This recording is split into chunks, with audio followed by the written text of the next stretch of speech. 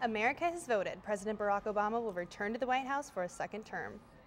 Hello and welcome to this special edition of Newscene. I'm Ronnie Wade. And I'm Dallas Richter. Thank you for joining us. It's been a long campaign season. Tonight we will have an in-depth look into the presidential election. And we'll take a closer look at the elections here in San Diego. We also have the latest on California's propositions. We will tell you which ones passed and which ones fell short. On a tense election night, President Obama was in his hometown of Chicago. He addressed the nation for the first time after being reelected.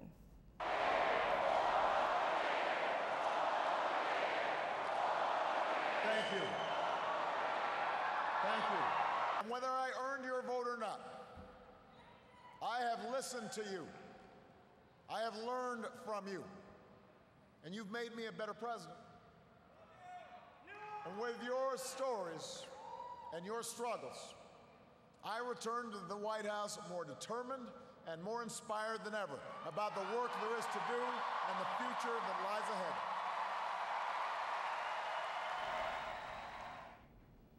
Republican nominee Mitt Romney fell short of electoral votes to take over the White House. Standing in front of a crowd of supporters in Boston, Romney congratulated President Obama on his victory. I so wish that I had been able to fulfill your hopes to lead the country in a different direction, but the nation chose another leader, and so Ann and I join with you to earnestly pray for him and for this great nation. Thank you, and God bless America. The long campaign season came to a close on Tuesday night, and the Democrats were out in their best blue to celebrate. I went to the Westin downtown with photojournalist David Matris to get a closer look. Tuesday night was a night of victory for San Diego Democrats and Democrats across the country. Before the results were in, supporters looked on anxiously as some states were won and some were lost. But in the end, it was clear Obama's message of hope and change of 2008 is very much alive in 2012. And we know in our hearts that for the United States of America, the best is yet to come. Emotions were running high as voters reflected on what this election means to them. It means the world to me. As a woman, as a woman um, of color, I'm Mexican.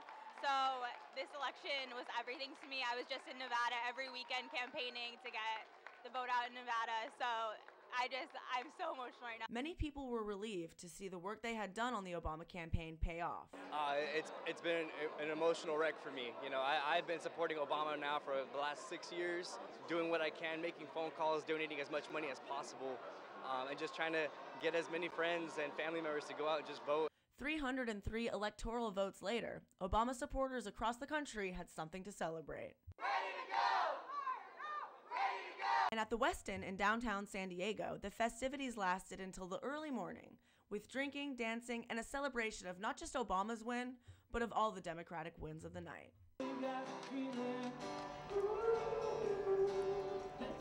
Even though Mitt Romney lost the election, there's a newfound sense of unity and willingness to reach across the aisle between the two parties. Many Americans are anxiously waiting to see what the future of our country holds. And you know, Ronnie, it was really fun to go down there and see the Democrats come out, not for just Obama, but for all of the candidates. It was a lot of energy. It made me really proud. It sounds like a great opportunity. For San Diego Republicans gathering in downtown San Diego Tuesday night, Newscene's Paul Cruz found out that the party never really got started. The scene Tuesday night in downtown San Diego was really no different than from four years ago. That's when San Diego Republicans quietly gathered to watch then President elect Barack Obama's victory speech after defeating Senator John McCain.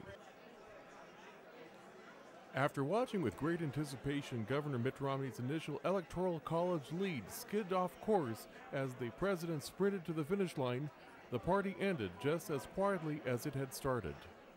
Although the polls have just closed here on the West Coast, the Republicans here at their party at the U.S. Grant Hotel are decidedly very quiet.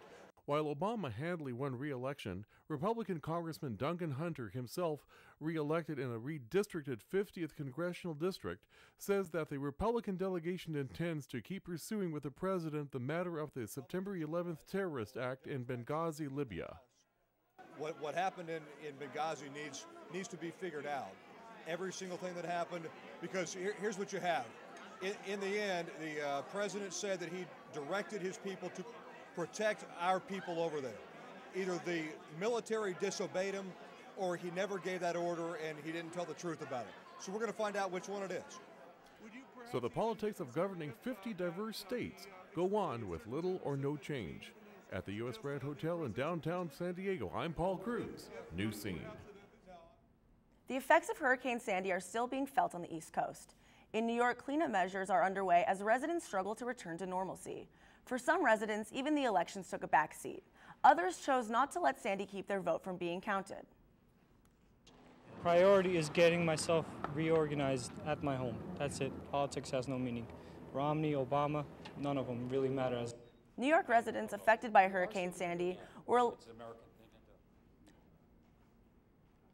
were allowed to cast their ballots at any polling place with a signed affidavit. And while the East Coast had some difficulties voting, the rest of the U.S. made, their, made it out to the polls.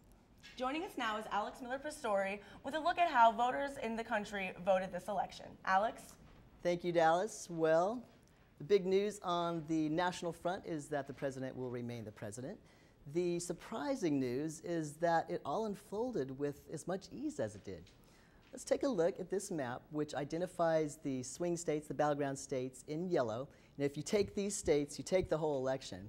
Now, if you're a campaign strategist, you might see the country a little bit differently. If you can bring up that next map, this is how it looks. California here, you can see, is pretty big in comparison with the, um, with the other states, and that's because uh, we have 55 electoral votes. Now, Montana is pretty small. There it is. Montana is pretty small because they only have three electoral votes. So this is kind of a different way of, of looking at the breakdown. Um, this is how it all shook out. And I want to show you something. Florida. Florida is the only state that still doesn't know uh, which way, which, which uh, candidate they've elected. And there were some who um, projected that Florida would be a key state and how everything was decided. And it is a really good thing because if this election hinged on Florida, we, we wouldn't know who the president is. So um, let me give you some total numbers. Uh, the president needed 270 electoral votes to win. He got 303 to Romney's 206. Now, this election wasn't won entirely on the airways. We would like to introduce you to Jonathan Verdugo. He's a City College student and campaigner who spent a lot of time pounding the pavement.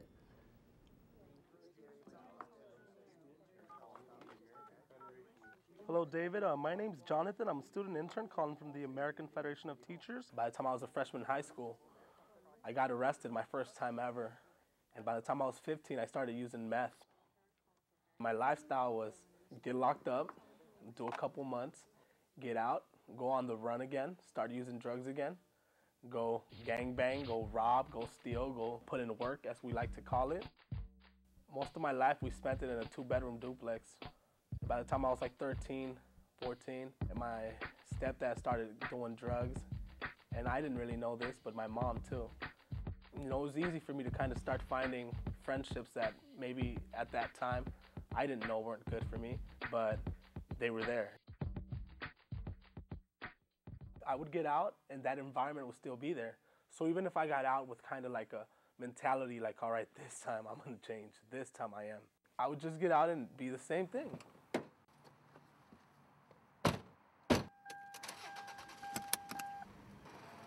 When I was uh, about to turn 17, I actually got sentenced to, it was my longest sentence.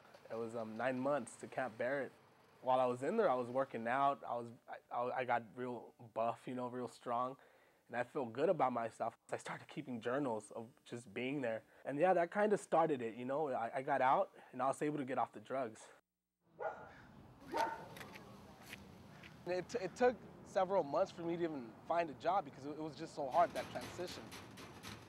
It showed me like, man, you know, you really have to work for what you want.